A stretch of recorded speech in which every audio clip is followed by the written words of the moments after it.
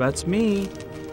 How much is it? It'll be $18. you go. Keep the change. Hi, doggy. You're my favorite customer. Thanks a lot. Bye. I did not hit her. It's not true. It's bullshit. I did not hit her. I did not. Oh, hi, Mark.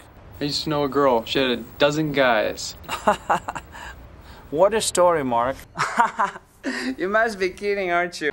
How dare you talk to me like that? You are lying. I never hit you. You are tearing me apart, Lisa.